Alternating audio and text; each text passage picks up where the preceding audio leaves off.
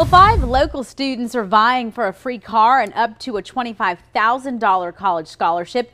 They're our Eskridge Auto Free Ride finalists. And one of the students we surprised, Kelsey Courts. Tonight we're introducing you to the straight A senior reaching for a bright future.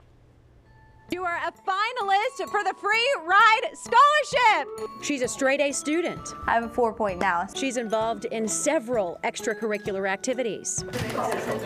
She's Edmond Memorial's valedictorian. I'm doing this to better me, my family, and my future. But she does all of this while supporting herself.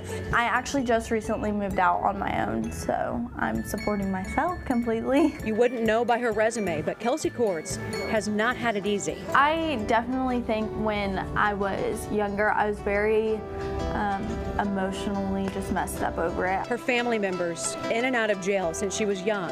Her mom not in her life because of addiction to drugs. She got into trouble whenever I was in first grade, and ever since then, um, she got out of prison officially when I was in middle school.